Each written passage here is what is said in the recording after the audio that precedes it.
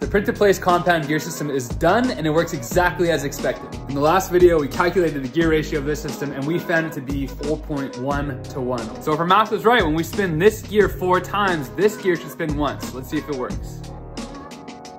That's one, that's two, three, and 4.1 exactly right. If we flip it and we go the other way, we get a speed increase. When we spin this gear once, this will spin four times, and that will happen really fast. Watch this.